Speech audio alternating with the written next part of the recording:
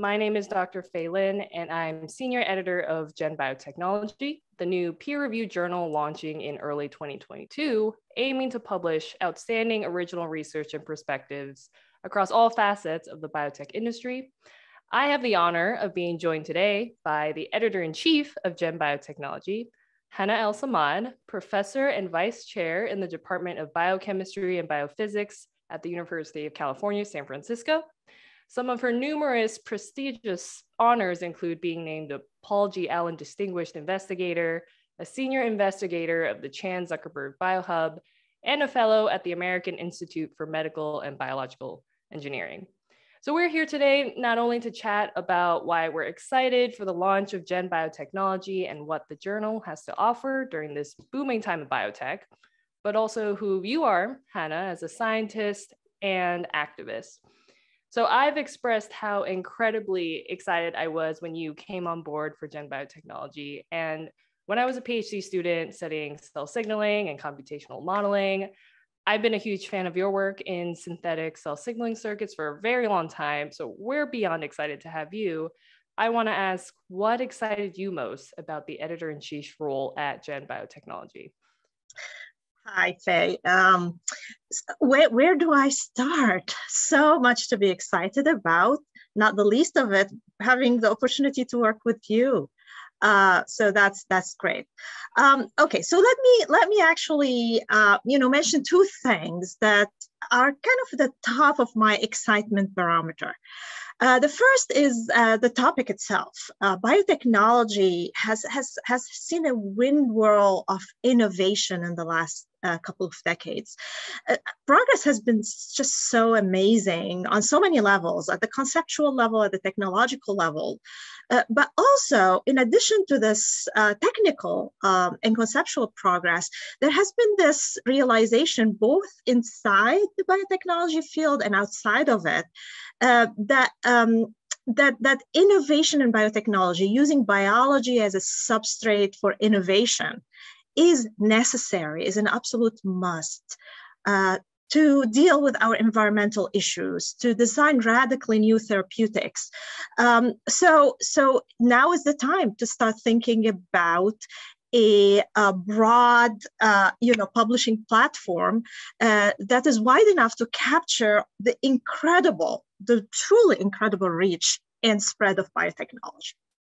Uh, so that's one reason. The other is, um, frankly, the, the, the, the, the current pandemic, the COVID pandemic, and the realization that science and, and, and biotechnology really came to our rescue in, in, in, in, in incredible ways. Uh, coupled to that is the realization that many of us in this field have had uh, that some big fraction of people in our country and actually around the world uh, might have an inaccurate view of how science did it and what biotechnology and its immense promise really are.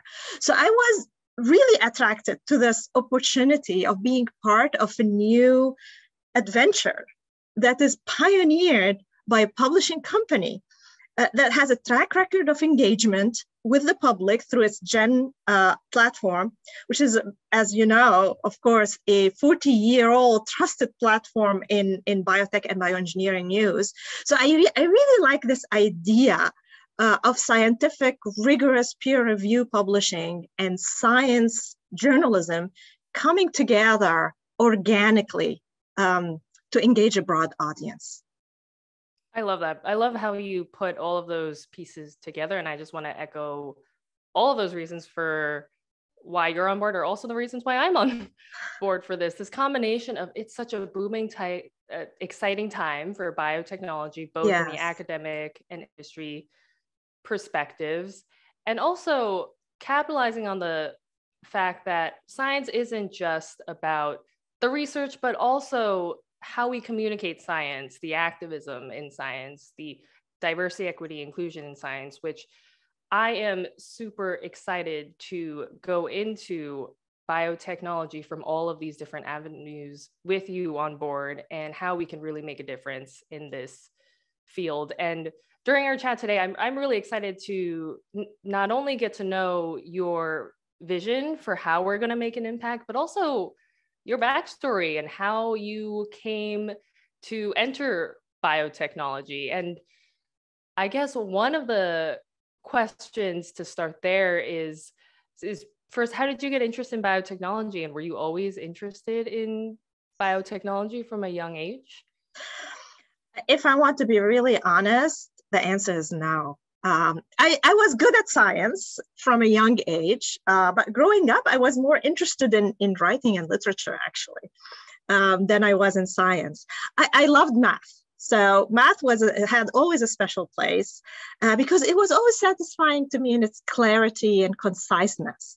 And literature was like at this opposite end, and I liked the, that they fit on both extremes. Biology, at least you know, biology I learned in high school was like this kind of fluff in the middle, right? It wasn't literature and it wasn't math, and it was at least to me at that at that age very poorly defined. Um, so, uh, so it wasn't really under grad school that I um, learned to appreciate the beauty of biology, and it, it, I, I, you know, I started thinking about it from two, um, you, you, know, I, I, started to appreciate it from really two angles. Uh, the first is I realized uh, that biology can be captured with math that was such a revelation for me that we can actually uh, model and quantitatively characterize biological processes. Um, so that's that's one. The second is that I also realized that um, uh, you know, despite what we learned in uh, what we learn in textbooks, you know, which is you know these this list of facts about how biology is and what evolution gave us. Um, actually, there is a possibility to manipulate biology right? And this is this is the angle of the you know biotechnology um, that we can uh, potentially manipulate manipulate biology with high precision through materials that can either interface with biology or through biological you know um, molecule that we can compose in circuits and so on. Um, so so it's actually the promise of biotechnology in that sense that uh, brought me back to biology as an area of interest I love that. And from what I remember, you started out with more of an engineering background and then transitioned yes. to biology later yes. in your career. So was there a spark that that was that aha moment of I can be applying all of these if it's the math, the engineering skills to biology and make great things happen there? Yes. So so my background as you mentioned is in is in engineering specifically in a field of engineering called control and dynamical systems theory. Uh, and that's basically the field of engineering that is tasked with building systems that can function robustly in uncertain environments through the use of feedback control. So, feedback control is this ability of a system to continuously sense its internal states and the world around it, compile this information, reason with it, compute with it, and then come up with um, courses of action to maintain the operation of that system in a robust way. Uh, so you know you can think about the thermostat in your house, about the the the autopilot control in in the in planes. You know you can think about you know robots, you know uh, surgical equipment, the control on your microscope. All of it uses this idea of feedback control and control algorithms. So the aha moment was when I realized that that's why we're alive, right? This is why, um, you know, we're bombarded all the time. Our cells, our organs are bombarded all the time with all of this stuff from our environment. Yes, yet we we function, we walk and we breathe and we fight cancer every day and this is because of these feedback control systems that operate at every level of biological organization. And at that moment, I realized that actually my background in control theory um, is the right background to start thinking about biological robustness. And it was it was truly a eureka moment. It was like one of the happiest, you know, periods of my life, I would say, of my scientific life. Yeah, and I think that captures such a um, key idea in this field of biotechnology that it's so interdisciplinary and that it's a combination of so many different expertise that can come together to understand and solve these really complex problems in a broad yes. range of applications which is again one of the reasons we're so excited about a journal that can capture so many broad applications if it's you know from the therapeutic medical side to the sustainability and agricultural food biotech side there's just so much to capture with such diverse expertise and i, I think it exactly. is really diving into this huge pool of amazing science that makes this opportunity really exciting for for all of us. And with that i, I want to ask you a bit about your lab and your current research. So can you say a few words about what is it that your lab studies and what is your research? So, um, broadly speaking, there are two areas, um, and they're not, you know, they're not as separate as I want to describe them, but let's conceptualize them as two areas that we work on. Uh, the first is in the realm of uh, what is broadly known as systems biology, uh, where we uh, try to take what, what exists biology as it exists today, the biology that evolution has given us, and try to understand its principles, um, why it's robust, how does it do signal processing, and, and, and so on. Um, so, um, so we have traditionally in that realm of systems biology, we have traditionally focused on stress responses, um, which are the cellular systems that allow cells to survive in hostile environments, increase, you know, fluctuations in temperature, nutrient availability, um, you know, various other harsh environments uh, and, and fluctuations in, in, in, cellular and organismal environments. Uh, and, and recently we started, uh, you know, thinking more broadly about, you know, what these stress responses are. So these are not only, you know, individual pathways, but these are collaboratives of pathway that work together to give a holistic, holistic response. So we, we went from the pathway to, you know, we're ramping our way up to, uh, you know, the hopefully the whole cell at some at some point.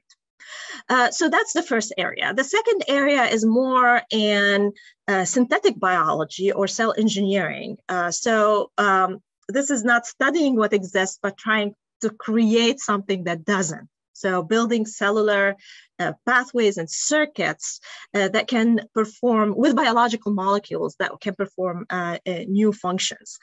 Um, so you know, again, I, I, I pitch these uh, two research areas, but actually they're not separate at all, and they're they're intersect in really interesting way.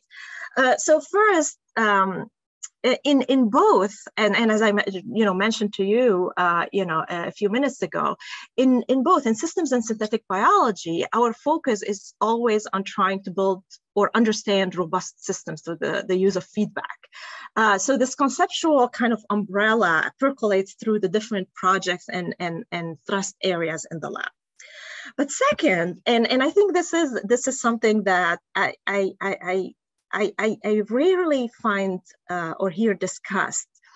Uh, we think about cell engineering as, uh, you know, what, or synthetic biology as what people do for applications.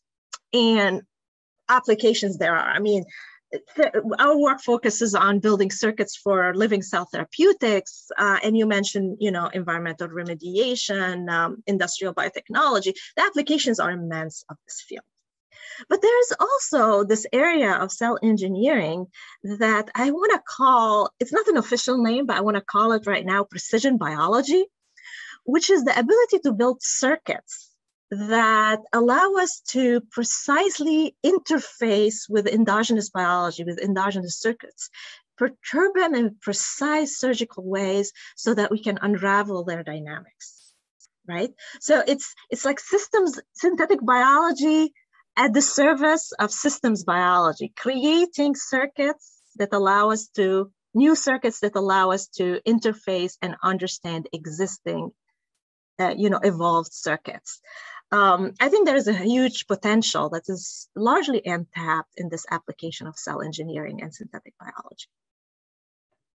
Yeah, I think, I think, again, like I said, my PhD work was in this field of signaling and dynamics and there's always so much exciting growth in the field when you're talking about the applications as far as there's again sustainability or like the therapeutic side but also from the science perspective just the ability to tune very specific aspects of the system and look at their dynamics mm-hmm. and i really like how you highlighted the aspect of an application being able to look at the science and approach it from a research perspective because i think oftentimes we uh, we do see applications as these very important maybe impact in the medicine and these other things that we see in our everyday lives but there's also this aspect of how we how we're pushing the science forward that i mm-hmm. think is, is really exciting. Uh, absolutely. And it's a continuum you know? It's not you know I, I, the the message i wanted to convey here is that uh, you know, these fields and how to push the science forward as a continuum. And there are these feedback loops between application and foundational science and so on everywhere at every level. And uh, what I'm hoping is that we will be able to uh, discuss and highlight and publish on these um, on these connections uh, in our journal. So, Hana, in addition to your role as professor and vice chair in the Department of Biochemistry and Biophysics at UCSF, can you tell us a bit more about the other activities that you're um, involved with in the Bay Area? How much time do you have? uh, uh, it, it, it's so amazing to be in the Bay Area. There's just so much going on uh, in you know in, in the broad area of bi- biotechnology.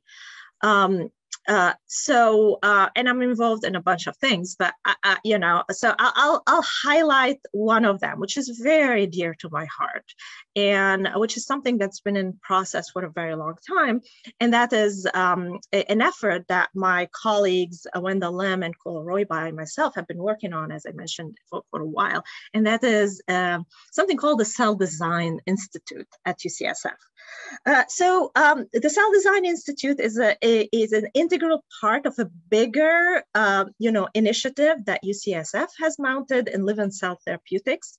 So this idea that the next generation of medicine um, comes from our cells, the body healing itself, right? Taking our cells and using them as these sophisticated, you know, therapeutic robots that can be programmed and dispatched uh, to fix, uh, you know, health problems.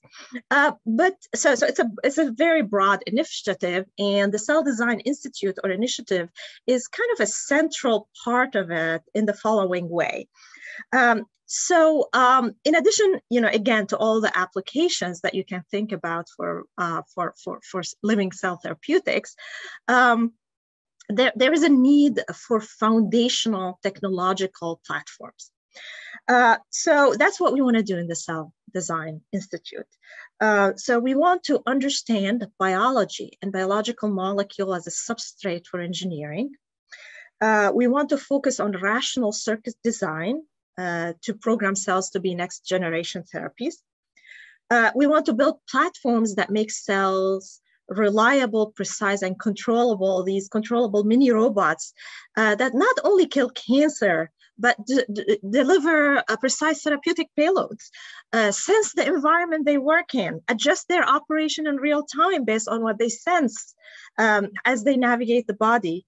Uh, so um, so we want to transform these cells through rational um, and, and predictable design and implementation of biological circuits to really surgical instruments uh, that, you know, again, not only kill cancer, but modulate neuroinflammation, um, build, rebuild the destroyed tissue, uh, heal a wound uh, with high precision and, and, and really exquisite control. Uh, and now is the time for that. I mean, this is why we're doing it now. It's like, um, it, the technology, the conceptual uh, developments, and um, and the need uh, and the potential all came together. The stars are, aligned, and the you know the time is now, uh, and hopefully we'll play a major role in that in that field at the Cell Design Institute.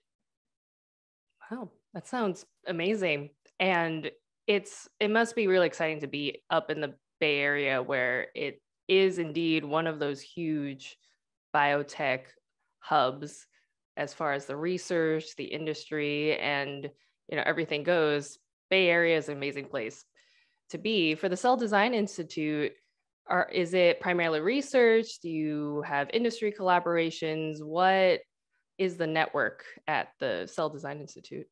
So uh, right now it's um, it, right now it's a it's it's it's a research institutes. But of course, the ambition is to establish a wide network of partnerships with our local, you know, we, you know, to be part of our local biotech ecosystem.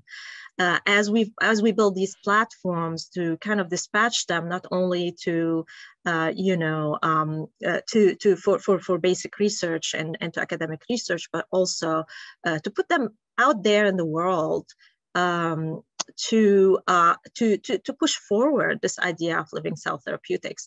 Uh, so one of our ambitions is actually to build a general purpose um, you know components that can be used for cancer for inflammation for for you know uh, for anything at all you can imagine that the idea the concept the implementation of, of for example feedback controller um, you know, again, goes from the controller of your microscope to the controller that, um, you know, lands a, a, shuttle on Mars.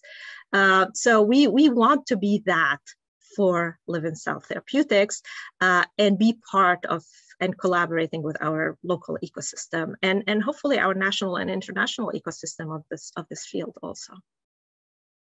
Yeah, no, that's amazing. And I think there's so much, like I said, so much exciting science, both in your lab, in the Bay Area. And I, I am so excited to, as we work together, to learn more about all the incredible networks and, and biotech that is happening on Northern California, because I'm based in Southern California in LA. Mm-hmm.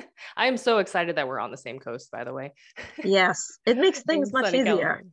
Yes. Absolutely. Absolutely.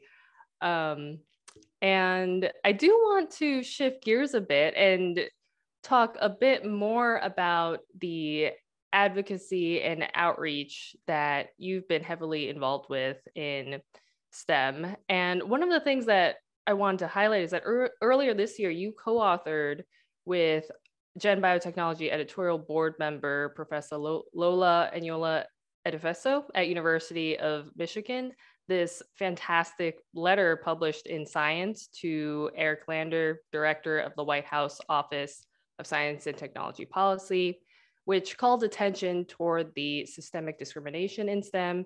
So, can you tell us a little bit more about that mm-hmm. in letter and how it came about?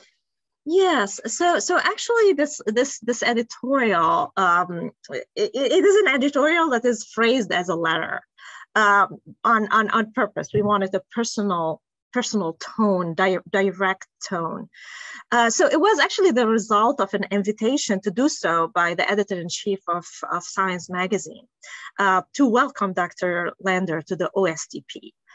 Uh, so, so let me start by saying uh, that actually um, the elevation of the of this position of director of the OSTP um, to ca- a cabinet level, it is a major win for science. It's, it is something that is tremendously significant.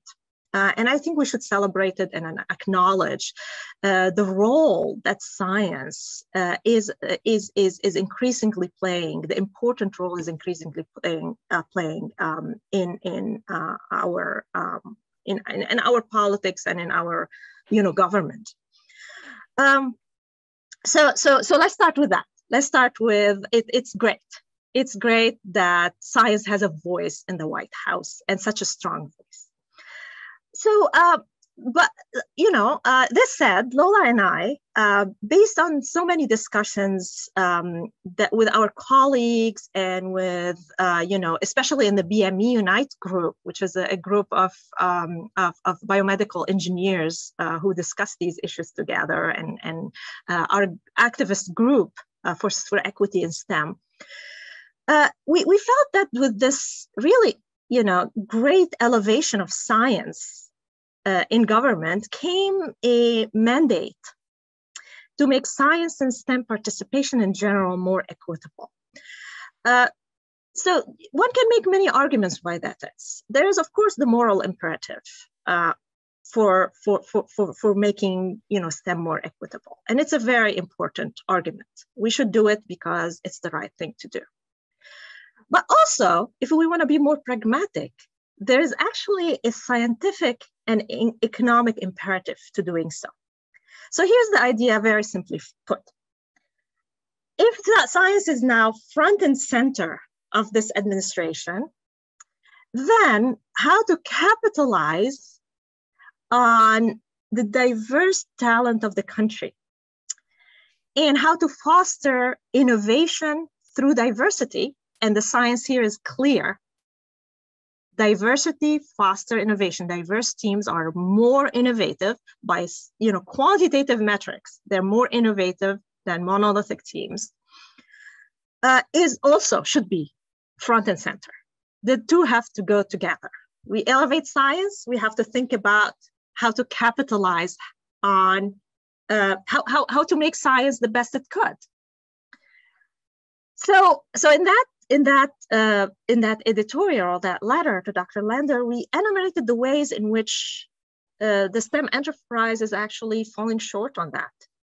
Um, our tone was polite, we were told, but it was very impatient. And actually, the impatience is is is really genuine um, what we said is okay, enough with studies, with polls, with task forces. We know what the problems are. We've actually known that for a couple of decades what the problems are. So let's just go for it. Um, so that that was our message.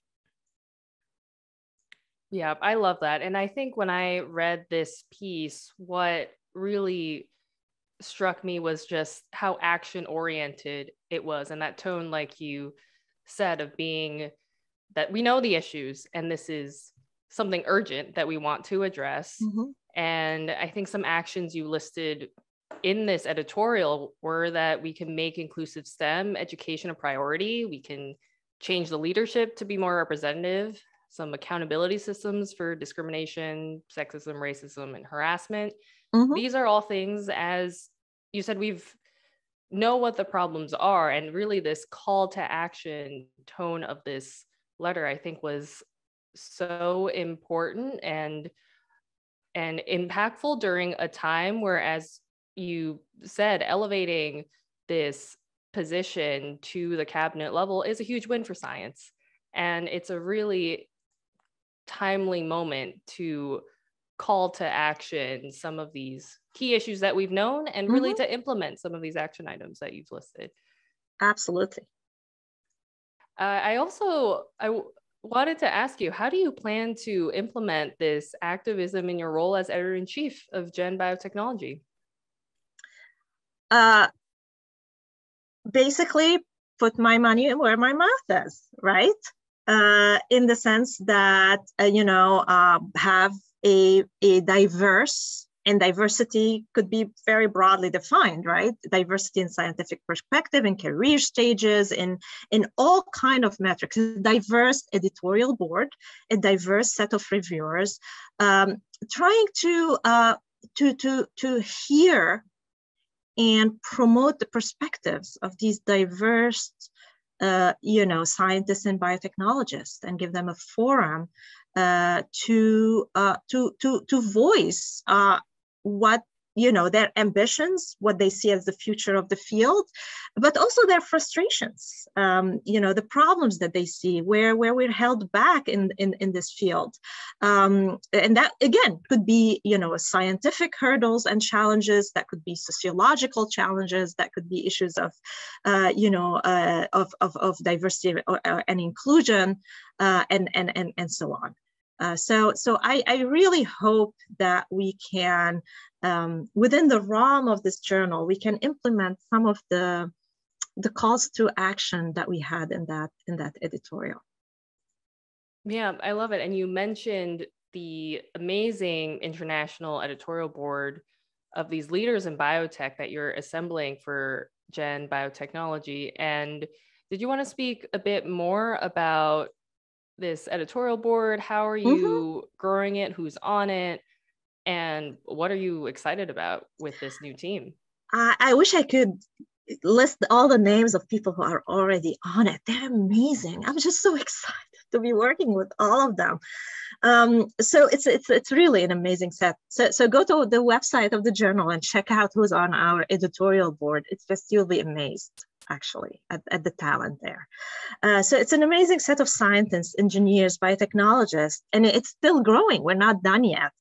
Um, so it's and you know as we as we mentioned, it's uh, at least my hope is that it will be diverse in every sense of the world design a word designed to capture the different angles of biotechnology, the different flavors of it based on, um, and, and, that's actually really important, based on, on, on, on regional needs and Uh, so one thing that I'm hoping to capture, both on our editorial board and on uh, the papers and perspectives and so on, and the pieces we publish, is uh, this idea that different parts of the world uh, have different needs for biotechnology, different applications maybe of the same technologies, or, or different technologies are together that cater to their local challenges and opportunities. Uh, the, the challenges in, in Africa might not be you know the same as those in the middle east might not be the, the same as those in australia or in the, in, in the us and there is vibrant biotechnology in all of these places um, and i just hope again through our editorial board membership and through the the material we publish that we capture this this this international um, you know biotechnology and its potential for the world. Yeah, I again, I am also super excited with this incredible team of editorial board members that we currently have on the board. And as Hana said, you can go to our website, genbiotechjournal.com, to get more information and to see this incredible group of leaders in biotech that we have leading this journal. And I think this also jumps into my next question about what kind of content will we expect from Gen Biotechnology and what is your overall vision for the journal? Yeah, so uh, I think we touched a little bit on this in bits and pieces. So let me put it all together, you know, in our previous conversation. So let me put it together in one in one place now. So what I really would like is for this journal to cover all aspects of biotechnology, the full ecosystem, which I think is a unique challenge, but also a huge opportunity. Uh, it's, it's, it's, it's really, there's tremendous need to kind of bring, you know, different branches of biotechnology together to, uh, you know, to, to, to, to a, a broad readership. Uh, so I want to I, I, would love to publish the science, of course, the most rigorous science, but also reflect on the sociology of the field, uh, of the opportunities of the field, its nascent talent, its challenges, um, uh, on, on the fact that we often see this artificial, artificial separation in biotechnology between the foundational and the applied. Um, which actually shouldn't exist. I, I, I, I hope you know, Gen Biotech will be the journal that not only publishes paper on the foundational aspect of biotechnology and the applied uh, uh, uh, aspects of biotechnology, but the leaps that people make between the two and you know in the same lab maybe or in the same institution or in, through collaborations and also so that's the positive but i also would love it if we can capture uh, when these leaps actually don't happen when they should happen. When some foundational technology doesn't make it to an applied setting, uh, what's holding that back? So I hope we can reflect also on that. Uh, so from cutting edge science to um, looking forward perspective to voices telling the field what is holding us back and what we're doing right. Um, uh, of course, you know, as we discussed, we would like to feature diverse science, diverse voices, uh, who speak to different technological and conceptual and scientific needs of our community and the world. Um, and I really, really would like to um, to see how we can focus on young, you know, uh, young voices and, and their perspectives about what the future holds. That's, I, I really, I, I love all of that. And I think one of the things that was super exciting for me about this journal is because it's going to be this fresh, modern voice in such a booming ty- uh, time during the biotech industry. And that includes, as you mentioned, Hana, that uplifting maybe these uh, younger voices that that honestly in a lot of platforms i think in stem is is harder for them to be heard and having a project like this where there is so much freedom to form what that voice is going to be maybe tackle a new modern audience that is harder to do at more established projects is a really exciting thing to be a part of. Absolutely. Add that to the list of um, of, of, of why i'm excited about this role at gen yes. biotech. So that's our first question. Uh, we, we keep adding items to that list. We're just all so excited. Yeah. About this and i think another common theme in the biotech industry is that indeed like i said it's booming in both academia and industry and i wanted to ask how does gen biotechnology fit in as far as i guess what i like to say and imagine this bridge between these mm-hmm. two areas that should work collaboratively and cohesively and how does gen biotechnology play a part in in bridging that? Yeah so so um you know let me put my you know um, uh, my my my scientist hat now. Uh, so from that experience being you know a scientist and you know uh, biotechnologist myself um, I actually feel there is a great need for platforms that um, that is not over specialized in one area of biotechnology that covers biotechnology at large, uh, both in terms of its basic and translational applied research. Um, so there are, you know, as, as we keep mentioning, there are so many branches of biotechnology. It's just such a rich area that covers, you know, all, almost everything in our lives, from the medicines we take to the food we grow and eat, you know, uh, and everything in between. Um, and, and and but these these you know technologies and you know intellectual advances are sometimes in, in these fields are sometimes siloed. Uh, for example, as someone who works in synthetic biology, uh, hacking into uh, the cells with biological molecules, um, I don't get the opportunity in one journal to um, read about, for example, the latest in how nanotechnology and uh, human-made materials uh, can also hack into cells uh, or how others are using bioelectronics or you know many many other things that i really have to be you know to go around and be intentional in scavenging these all of these things piece bits and pieces of information and biotechnology that might be very relevant to my work.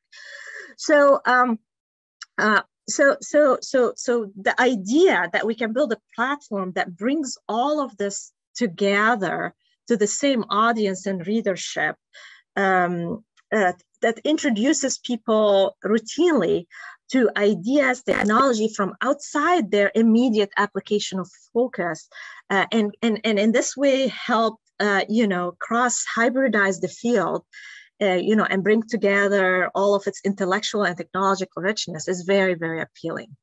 Um, so, so uh, I think that's the best thing we can do for the future of biotechnology, bringing it all together, um, and and and and giving people access to it in one place. Yeah, absolutely. And I think what, like you said, what was really exciting about this journal is the range of the audience that we're aiming to reach as far as not just scientists, but also people if it's at the policy level or or investors who mm-hmm. are investing in these different biotech initiatives there is just so many different as it should different people who are interested in this very impactful field of biotech and its wide applications that we're aiming to hit with this journal all right. So, Hana, how can people in the biotech community get involved with Gen Biotechnology? Uh, there are so many ways. Uh, first of all, and obviously, Uh, send us your scientific papers, your breakthroughs, the amazing thing, things that you've discovered or that you have built. But also uh, send us your perspective. What excites you in the field? Um, also, what frustrates you in the field? Where, where should we go and we're not going? Um, if you are in industry, we also want to hear from you. Tell us what you think academia should do, is doing, you know, um, is doing well or not well. If you are in academia, what should industry do differently? What, what, what would catalyze your um, you know a collaboration you might have with industry if the industry did something differently or you know focused on on on, on different you know application areas and so on. Um, so so i guess what i'm trying to say is wherever you are in that very broad and rich field of biotechnology that is just gonna you know I, I actually have no doubt biotechnology is going to save the world. We you know that's our chance. So if you are anywhere in this amazing field enter in a communication with us about how to make uh, the, the, this journal really a meeting space for the field. Um, and what role you think you might play in that? Uh, so this is really an invitation um, to all to think and propose novel novel ways uh, where you know you can engage with us and with this journal. Absolutely. And if you're wondering how to reach us, you can get involved with Gen Biotechnology by sending us any editorial inquiries by email to editor at genbiotechjournal.com. You can also learn more about us at genbiotechjournal.com and follow us on Twitter at genbiotechjournal. All right, Hana, thank you so much for taking the time to chat today about this incredibly new, exciting journal called Gen Biotechnology. I am really excited to work together and make an incredible impact in all of science, not just in communicating the research, but also in diversity, equity, inclusion, and all of the incredible facets of science that we've discussed today. Thank you so much, Fay. I really enjoyed talking with you today. And I'm just so excited about this journal and about the field. Yes. Yeah. Oh, We're oh, launching early 2022, everyone. Yes. Get ready.